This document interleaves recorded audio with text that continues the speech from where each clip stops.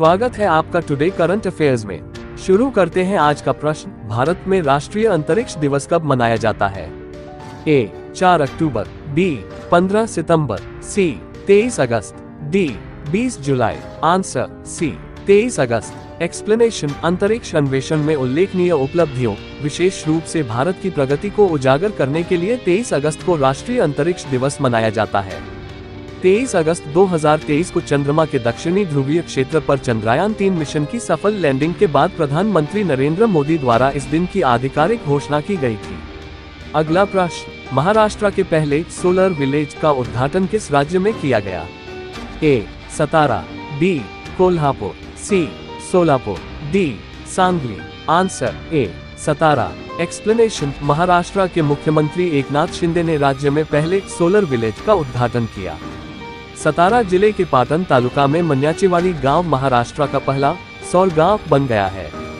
महाराष्ट्र राज्य विद्युत वितरण कंपनी एमएससीडीसीएल ने प्रत्येक ज़िले के दो गाँवों को 100 प्रतिशत सौर ऊर्जा संचालित बिजली प्रदान करने की महत्वाकांक्षी योजना की घोषणा की है।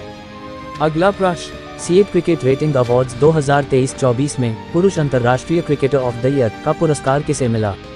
A Yashasvi Jaiswal B Rohit Sharma C Virat Kohli D, K Rahul, answer, B, Rohit Sharma explanation भारतीय पुरुष क्रिकेट टीम के कप्तान रोहित शर्मा को 21 अगस्त 2024 को मुंबई में आयोजित एक समारोह में 26वें सीएट वर्ष 2023-24 का अंतर्राष्ट्रीय क्रिकेटर पुरस्कार से सम्मानित किया गया। सीएट क्रिकेट पुरस्कार भारत में क्रिकेट के सबसे प्रतिष्ठित पुरस्कारों में से एक माना जाता है। ये पुरस्कार दुनिया भर के क्रिकेटरों के असाधारण प्रदर्शन का सम्मान करता है। सीएट क्रिकेट पुरस्कार उन्नीस सौ पचानवे छियानवे में शुरू किया गया था और यह आरपी गोयन का समूह की कंपनी सीएट टायर्स द्वारा प्रायोजित है। अगला प्रश्न। वैज्ञानिकों ने पहली बार किस ग्रह पर तरल पानी की खोज की? A, Shukra, B, Brihaspati, C, Shani, D, Mangal, answer, D, Mangal. Explanation. वैज्ञानिकों ने पहली बार मंगल ग्रह पर तरल पानी की खोज की है। एक नए अध्ययन के अनुसार, मंगल ग्रह की चट्टानी बाहरी परत के अंदर तरल पानी के महासागर हो सकते हैं।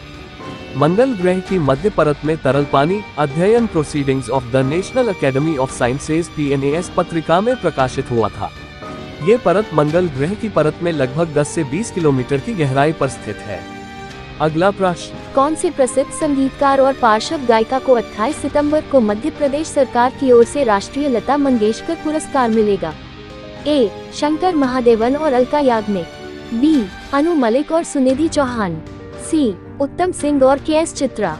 D, A R Rahman और श्रेया घोषाल। आंसर, सी, उत्तम सिंह और K S Chitra. Explanation, Madhya Pradesh सरकार 28 सितंबर को यहाँ एक समारोह में सुप्रसिद्ध संगीतकार उत्तम सिंह और पार्श्व गायिका के एस चित्रा को राष्ट्रीय लता मंगेशकर पुरस्कार प्रदान करेगी। राज्य संस्कृति विभाग हर साल मंगेशकर की जयंती पर यह पुरस्कार प्रदान करता है। उत्तम सिंह को 2022 का मंगेशकर पुरस्कार दिया जाएगा, जबकि चित्रा को 2023 का पुरस्कार दिया जाएगा।